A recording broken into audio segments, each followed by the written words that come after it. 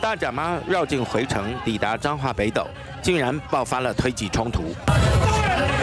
一群人大声咆哮，旁边还有信众等着要弄酒咖，妈祖都还没来，先发生了冲突。还有信众为了放鞭炮，跟远景起了口角。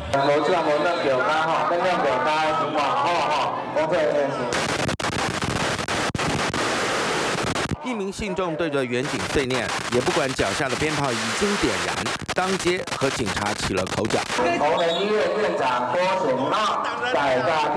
因为大甲妈乱叫已经接近医院，警察才阻止点燃鞭炮。没有想到信众不爽，成了回暖的小插曲。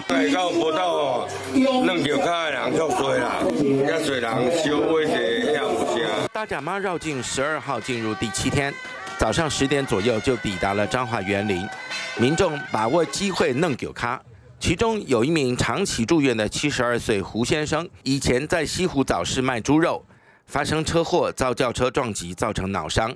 今年医院安排他弄酒咖，安排第一位，希望有妈祖赐福，可以让胡先生好转。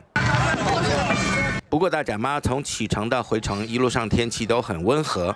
大甲妈的医疗队表示，今年热伤害的案件只有往年的三到四成，整整少了一半。医师提醒，天气虽然不热，但是还是记得要补充电解质。TVBS 新闻陈志忠彰化报道。想看最完整的新闻内容，记得下载 TVBS 新闻网 APP。